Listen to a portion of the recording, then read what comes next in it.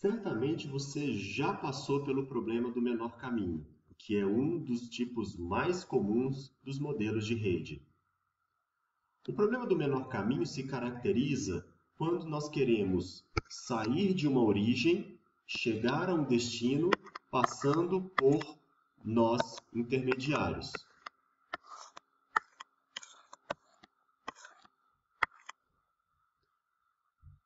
Neste exemplo, nós temos uma origem,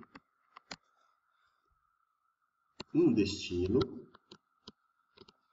e quatro nós intermediários. Os possíveis caminhos são representados pelos arcos. Então, nós temos a opção de sair da origem e ir para este nó, ou sair da origem e ir para este nó. Deste nó, eu posso pegar dois possíveis caminhos. Deste nó, eu posso pegar um possível caminho. Deste nó, eu posso pegar dois possíveis caminhos. E deste nó, um possível caminho. Modelando o problema por meio de programação linear, nós temos a estrutura básica de um modelo matemático que é a função objetivo sujeito às restrições.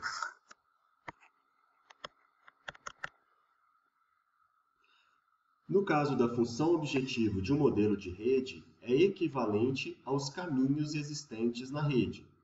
Nesse nosso problema de rede, nós temos 1, 2, 3, 4, 5, 6, 7, 8 caminhos. Então, nós teremos oito termos presentes na função objetivo. O peso associado ao caminho 1, mais o peso associado ao caminho 2, mais os pesos dos caminhos sequenciais, até terminar no peso associado ao caminho 8.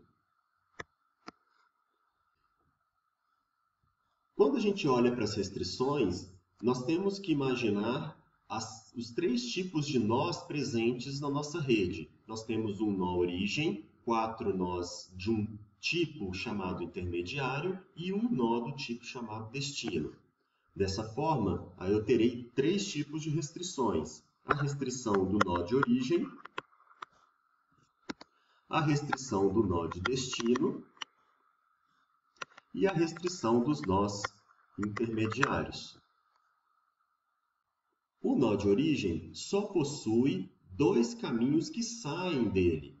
Então, dessa forma, a restrição é construída com os caminhos que saem tem que ser igual a 1. O nó destino, neste exemplo, recebe dois caminhos. Então, desta forma, os caminhos que chegam no destino, eu preciso pegar um. Já os nós intermediários, eu não quero ficar neles, eu só quero passar por eles. Então, a ideia é que cada nó intermediário vai ter uma restrição que os caminhos que chegam nele têm que ser igual aos caminhos que saem dele. A ideia é que, se eu chegar por um caminho num nó intermediário, eu preciso pegar um caminho que deixa o nó intermediário. Ou seja, eu não posso parar nesse nó intermediário. Neste nosso exemplo, eu tenho um nó de origem, então eu tenho uma restrição de origem.